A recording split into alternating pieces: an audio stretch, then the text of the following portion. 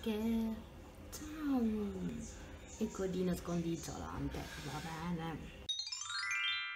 Salve a tutti, benvenuti nel mio canale Sentieri del Gusto, sono Lucia e oggi voglio farvi conoscere una pasta pugliese e noi la chiamiamo le troccole.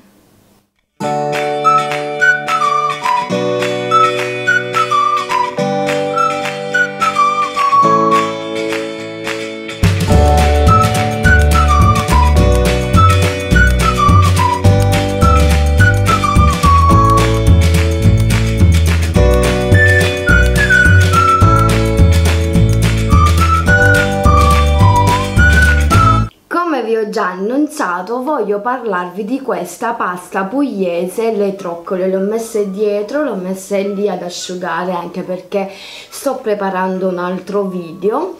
E quindi sì faccio due video in uno e quindi voglio parlarvi ora in questo momento anche per igiene le ho messe dietro quindi le troccole, cosa sono le troccole? Le troccole diciamo che mh, mm, assomigliano oppure possono pure essere scambiati a degli spaghetti spaghetti, um, alle spaghetti alla chitarra, ma non sono spaghetti alla chitarra, guarda, eh, sono veramente un, un, è, è un vanto uh, pugliese, è una nostra ricetta, gli spaghetti alla chitarra di solito si fanno proprio con la pasta all'uovo, insomma è un tipo di formato. Anche se per fare gli spaghetti alla chitarra bisogna usare ehm, cioè, lo strumento adatto, cioè proprio la chitarra, uno strumento per fare la pasta che si chiama la chitarra, che io non ho e penso che rimarrà nella lista dei desideri per parecchio tempo. Però per ora io mi faccio questo piatto uh, pugliese, questa pasta fresca pugliese molto eh, insomma abbiamo anche noi in Puglia abbiamo il nostro spaghetto come si fa con il troccolaturo e questo qui lo vedete sporco mi spiace non ci ho pensato a pulirlo perché pure la fretta di fare il video. E insomma eh, sono questo e questo in pratica questo mattarello con queste segnature dove in pratica um, segnandolo comincia a fare il troccolo insomma lo spaghetto dello spessore eh, che, mm, che insomma ne richiede la pasta. È semplicissimo è tipo una pasta all'uovo ma non è completamente all'uovo perché si completa eh, con l'acqua. La farina da usare ovviamente io ho usato quella lì di semola eh, di semola rimacinata a pietra ovviamente pugliese rigorosamente pugliese e eh, vi dico piccoli consigli che posso darvi è che eh, prima di tutto fate riposare la pasta e dovete veramente ottenere un buon impasto bello sodo da poterlo lavorare veramente in maniera perfetta quasi dura insomma.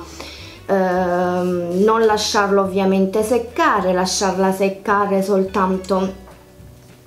uh, nel, nell'apposito uh, stand di pasta oppure nei vostri taglieri quello che avete io lo stand di pasta ce l'ho apposta perché ehm, faccio l'essiccazione della pasta per comodità per il fatto che ne faccio un sacco e poi sto bene per tutta la settimana oppure la regalo insomma e poi mi mantiene. Ma questo è un altro discorso e anche un altro video quindi ritorniamo ai troccoli, troccoli pugliesi mm, dove ehm,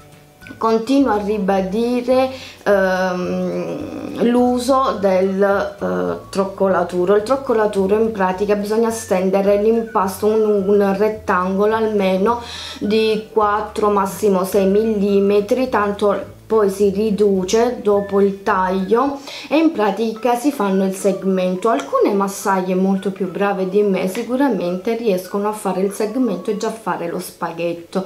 Io invece da tanti anni che lo faccio perché questo me l'ha regalato me l'ha regalato sì una mia collega all'inizio sposata eh, perché andò ad Alberobello questi oggettini si eh, comprano in quelle oggettistiche di casa oppure nei nostri negozietti di souvenir di Alberobello eh, si chiama tra, ehm, Troccolaturo. E quindi ehm,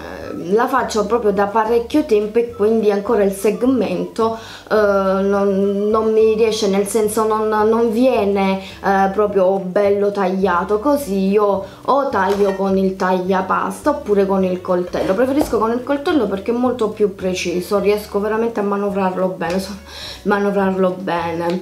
eh, quindi i condimenti che si possono usare io ne ho fatti parecchi ho fatto pasta e olio e peperoncino classico classico la, gli spaghetti all'anerano ma un classico sugo con le polpette si sposa in tutti eh, in tutte le pietanze. Spero che questo, questa ricetta vi piaccia.